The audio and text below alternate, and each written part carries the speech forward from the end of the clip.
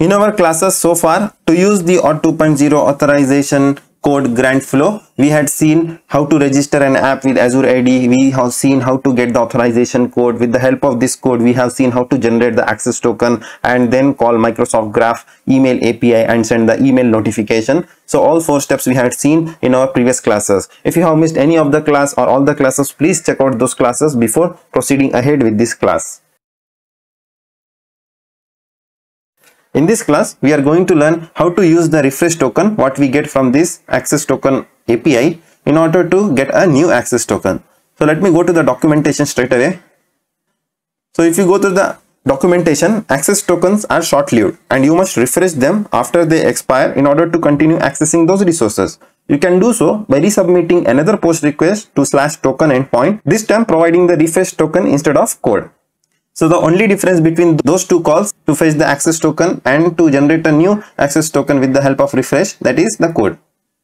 So here client ID we will send, the scope we are going to send, refresh token we are going to send, grant type will be a refresh underscore token. We are not going to send the authorization code this time and the client secret. That is the only difference. And in response we will be getting the refresh token, scope, access token, token type and expires. These are the response elements what we will get. Now let me switch over to the postman and show you with the hands-on. I have created a new request over here under Microsoft Collections refresh token. If you see the form parameters what I have created for URL encoding or the query parameters, let me just drag it down.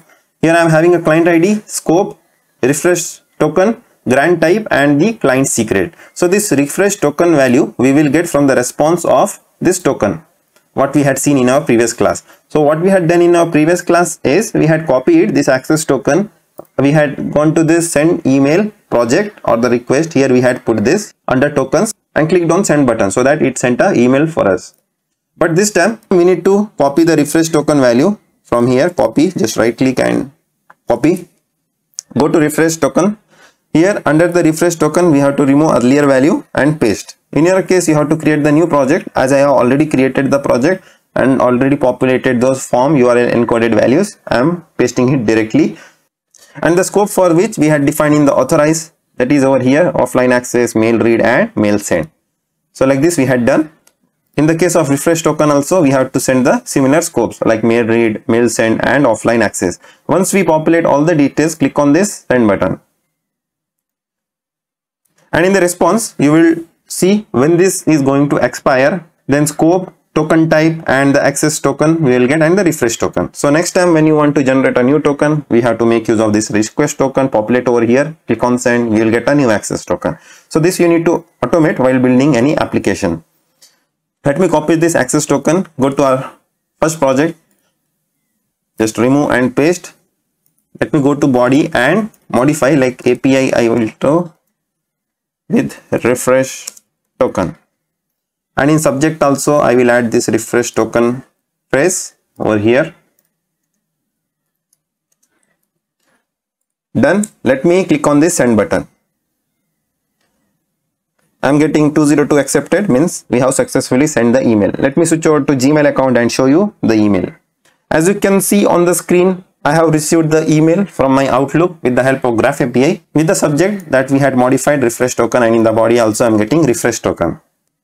Like this, we can enable this OAuth 2.0 authorization code grant flow and generate our own solution and access Microsoft Graph APIs with the help of access token and also we can create our applications in order to refresh these tokens and access Microsoft Graph APIs as and when it's required.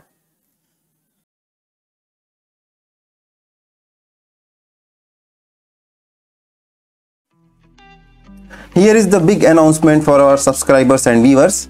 We are launching membership program for Beenum Learning.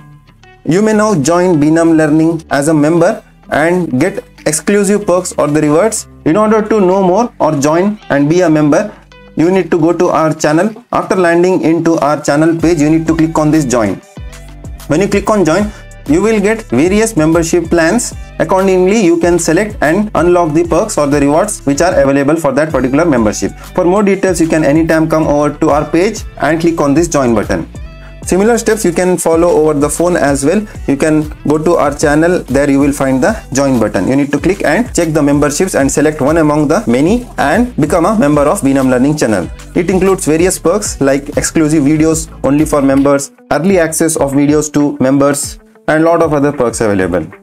If you are happy with our content and want to thank us or support us, you can straight away come to this link and you can buy us a coffee like 1 3 5 so these numbers are equivalent to us dollars. If you want to buy more coffees you can just enter the number over here and click on buy.